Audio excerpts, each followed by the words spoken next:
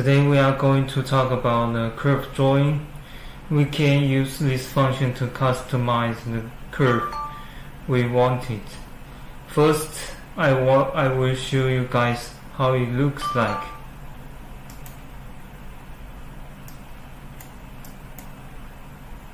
So I click this initial, we will see there are two curves. One is sine and one is cosine. So same to the Lua table.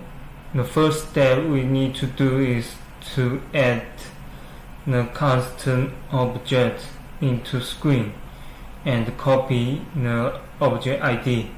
So here I right click the object then click here copy object name then we can go to the main function of the Lua the main function Lua file to paste this ID next we need to understand the core function of curve so here we go to the support center for checking some details.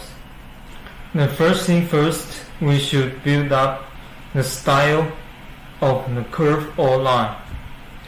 Set the color, line type, width, and height or not.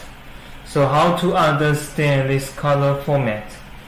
It is um, ranging from 0 to 60 GF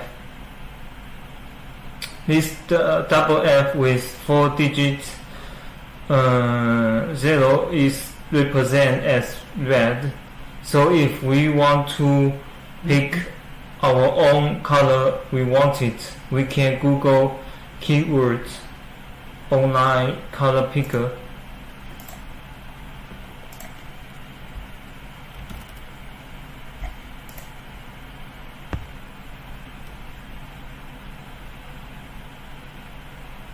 So this format just exactly we wanted the hexadecimal number.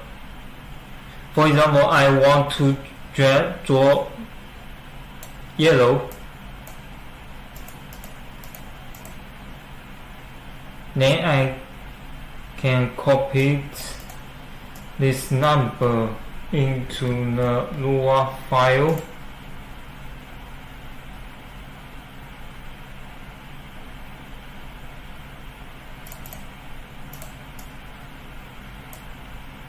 So here I already have some preset style for the curve. So for example, I change it mm-hmm. to the yellow and save the change. After the recompile it, we can see its style change.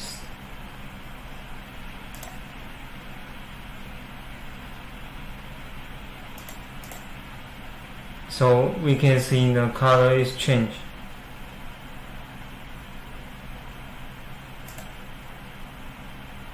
So let's um, back to the Lua chapter.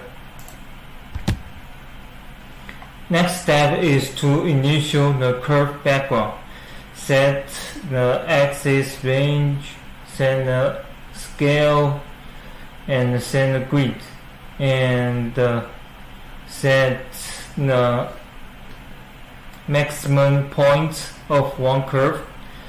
For how they work for, please refer to the support center. It is not our key point for today's topic. And uh, at the last step is for drawing actual curve. So it is the most important part of curve function. For data we can see the drawing function requires three parameters. The first one is for object ID. The second one is for corresponding curve ID.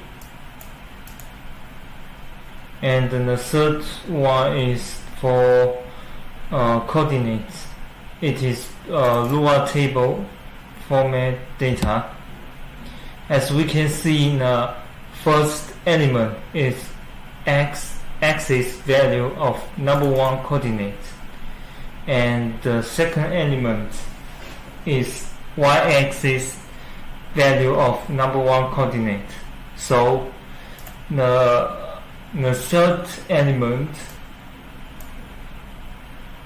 is uh, x-axis value of number two coordinate and so on. So back to the, our demo project. A curve drawing function using uh, this for loop to generate a y point. Uh, just like we mentioned on the support center this i value is represent x axis value and uh, this calculate format is uh, y of y is for y axis value. Uh, because uh, math math sine and math cosine just able to read the radian value so we need this math rad function to convert the angle value into radian value.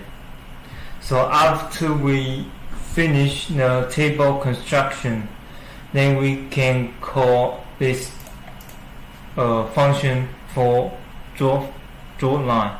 So it would display like we showing on the beginning. At last I want to introduce the moving curve and zoom in and zoom out it is actually achieved by changing the axis range. So like the this one. Axis moving uh, move to the left and or right. It is axis axis value at offset and zoom in is to divide it the axis value with the multi multi value so here I click left and right.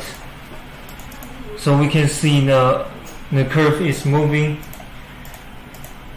and the y-axis up and down also so uh, this uh, to zoom in zoom out just like this so um, this is all the content I present today Thanks for watching. See you next time.